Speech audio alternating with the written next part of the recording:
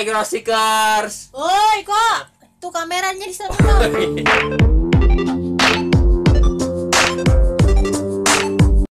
Kali ini saya dapat kesempatan untuk nyobain Bobo VR Z4 Mini yang notabene katanya VR headset low end terbaik yang ada di pasaran. Kenapa seperti itu? Pasti ada alasannya dong.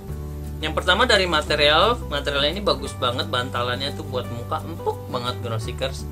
Kemudian tali strapnya itu juga dibuat dengan kualitas bagus. Bagian depannya ini menggunakan plastik Grossikers jadi di mana kalau kalian punya aplikasi kamera yang augmented reality, kalian bisa taruh di sini dan kalian bisa see through. Kalau yang ketutupan kalian nggak bisa kan? Saya bahas dulu ya ada apa aja di headset ini. Yang pertama-tama tentu adalah slider untuk mengatur titik mata ya yang di dalam sini. Oke kalian bisa lihat di situ. Nah untuk orang yang paling gede kan mereka pasti titik matanya jauh dan untuk anak-anak agak ke dalam. Nah kemudian ada juga ya tentu ya depannya ini untuk masukin handphone kalian. Juga untuk mengatur jarak jauh. Jarak jauh penglihatan kalian. Saya sih saran ini paling jauh karena memang kalau terlalu dekat kalian bisa juling pusing. Kalian bayangin aja uh, layar dideketin ke mata kalian gitu kan.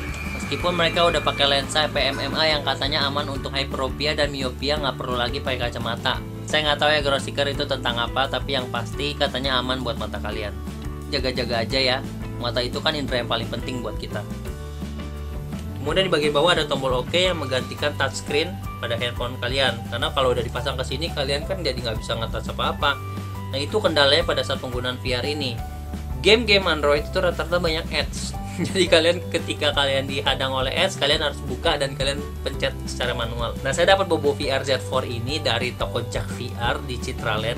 Kalian bisa langsung datang ke tokonya atau juga mereka ada toko kedua namanya Kanal Store tapi sayang sekali cuma ada di toko online kalian cari ya googling thanks juga buat Mas Reza di Jack VR yang sudah merekomendasikan uh, eh, VR headset ini karena katanya ini adalah yang terbaik yang dia jual ya.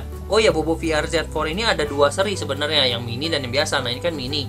Kalau yang biasa itu ada headphone di sininya Grosiker. Nah kenapa saya ambil yang mini? Karena sebelum saya beli saya oprek-oprek dulu dari youtubers lain tentang produk Z4 uh, yang biasa headphonenya itu nggak terlalu bagus suaranya dan katanya less bass nah saya lebih suka pakai yang saya punya karena saya suka bassnya besar ya faktor utama kenapa orang pada pilih ini karena FOV yang dimiliki 120 ground seekers lebih besar bahkan dari Samsung Gear VR yang harganya lebih mahal dari ini buat kalian yang belum tahu apa itu FOV atau view of field jadi kalau kalian main ya seperti kalian lihat bioskop kalau semakin besar FOV-nya, maka kalian tidak akan melihat titik hitam di kanan kiri atas bawah kalian. So pasti kalian dijamin puas.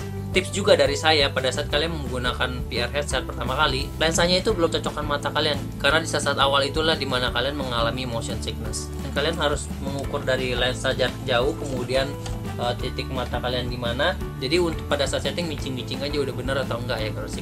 Ke belakang-belakangnya kalian memang akan terbiasa tapi disarankan main tidak lebih dari 30 menit ya. Bermain dengan VR headset itu memang seru Ground Seekers. Ini adalah pengalaman baru buat kalian yang belum pernah merasakan main pakai VR headset.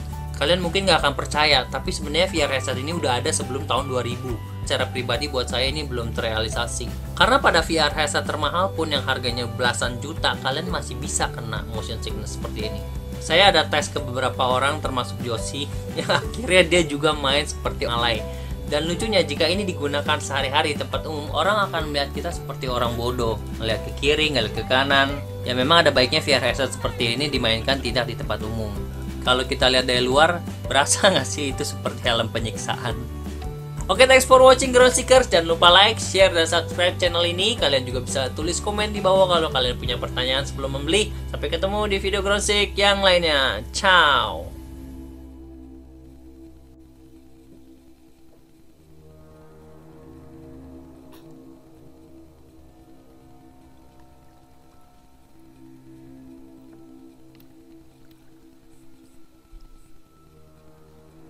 Turun lagi.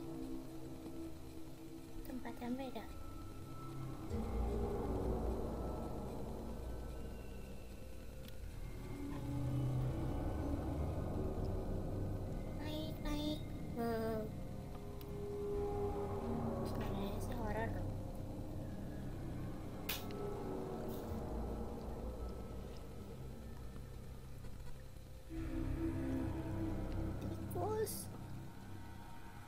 sih tempat yang tadi yang tadi aku. Boleh gak aku putar badan? Nggak apa-apa lah ya.